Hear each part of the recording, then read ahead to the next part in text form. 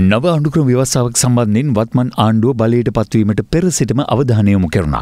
ඒ අනුව දානවෙනි ව්‍යවස්ථා සංශෝධනයේ පැවති ඇතැම් කරුණු ඉවත් කරමින් විසිවෙනි ව්‍යවස්ථා සංශෝධනය පසුගේදා ගැසට් කරනු අතර එම පනත් කෙටුම් පත හෙටදිනේදී පාර්ලිමේන්තුවට ඉදිරිපත් කිරීමට නියමිතයි. පාර්ලිමේන්තුවට ඉදිරිපත් කිරීමෙන් අනතුරුව ඊට එරෙව පෙත්සම් ගුණ කිරීමේ අවස්ථාව පුරවැසියන්ට හිමිවනවා. නව විවසා සංශෝධන කෙටුම්පත් සම්බන්ධයෙන් යම් විරෝධතාවක් වෙතොත් හෙට දිනෙන් පසු දින හතක් ඇතුළත ශ්‍රේෂ්ඨාධිකරණය හමුවේ පෙත් සම්ගොනු කළ හැකි.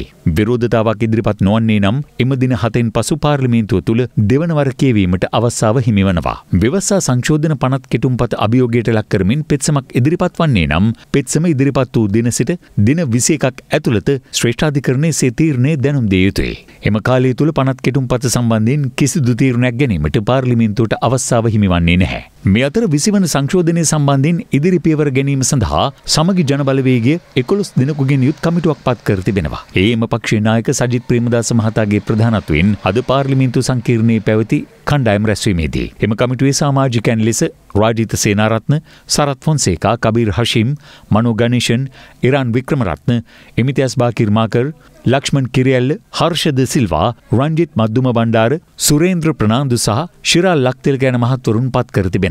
මෙරට ඉන්න ජනාධිපතිවරයා සහ අගමැතිවරයා ගැන සහෝදරයෝ. ඉතින් සහෝදරයෝ දෙන්නට විශ්වාසයකින් වැඩ කරන්න බැයි නම් ජනාධිපති සහෝදරයා අගමැති සහෝදරයාට බලතල නොදී සියලු බලතල තමන් රටා ඒකරාශී කරන සංශෝධනයක් ගේනවා නම් ඉතින් එතන තියෙන්නේ මහා භයානක තත්ත්වයක්. මේ දැන් මේ ඇවිල්ලා අවුරුද්දක් ලං වෙනවා. පොල් ගෙඩියක් ගන්න නැහැ මිනිස්සුන්ට. කහ නැහැ. ඉතින් ඕකට උත්තර දෙන්න ඇතුව ඔච්චර බලය බලය තියෙනවානේ දැන් විස්සෙන් එහා දැනටම තියෙනවානේ ඕක තියාගෙන මිනිස්සුන්ට තියෙන ප්‍රශ්න විසඳන්න නැතුව විස්ස විස්ස කියලා මිනිසුන්ගේ ඔළුව නරක් කරන්න බලන්න. දැන් මේ තියෙන බලය එක්ක යමක් කරන්නකෝ. විස්ස නෙවෙයි තවත් එහාට බලය දෙන්න ඕන මිනිහෙක් ලෑස්ති. හැබැයි මේ අවුරුද්ද තුල මොන රෙද්දක්ද කරලා තියෙන්නේ? වැඩි බලයක් තියෙන ආණ්ඩුවට. මේක පරද්දන්න පුළුවන් ඒක. ආණ්ඩුවට වැඩි බලයක් තියෙන පතාව නෙමෙයි මෙතන තියෙන්නේ මම දකින්නේ. තාමත්ම ගැතිකම් කරන කණ්ඩායමක් ආණ්ඩුවස් ඉන්න එකයි ප්‍රශ්නේ තියෙන්නේ. ඒ ගැතිකම් කරන කණ්ඩායමට අමතක වෙලා තියෙනවා ඒගොල්ලන්ට ඡන්දෙ දුන්නේ රටේ ජනතාව කියලා. ඒගොල්ලෝ හිතනවා රටේ ඡන්ද වැඩිපුර දුන්නාම ජනතාව ඕනම දෙයක් රටේ කරන්න පුළුවන් කියලා. දැන් මේනොට පොල් මිල, කහ මිල සම්බන්ධයෙන් මොකද හිතෙන්නේ? අනේ අපොයි රටට වෙච්ච දෙයක්.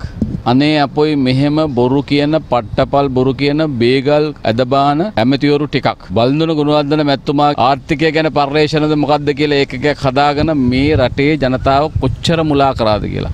එකපාර මම දැක්ක පොල්ගෙඩි තුනකුත් අරගෙන ඇවිල්ලා පොල්ගෙඩි කරකෝ කරකෝ කියනවා එක එක කතන්දර. අද අහපුවම එතුමා කියනවා මට ප්‍රතිහාරය කරන්න බෑ මේකේ කියලා කියනවා. ඇඳුමක් ඇඳගෙනද ඔය කියන්නේ?